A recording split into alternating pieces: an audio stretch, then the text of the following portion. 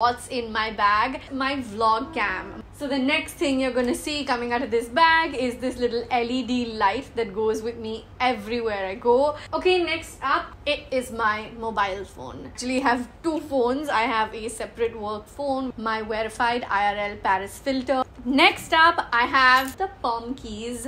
I have a tail comb coming out of this uh this pouch. I always have me perfumes from verified. I have a mint a mouth freshener. I always have my lipstick of the day coming out of the bag. Is my verified lip love lip oil. I have this section here essentially if you can see it on the camera.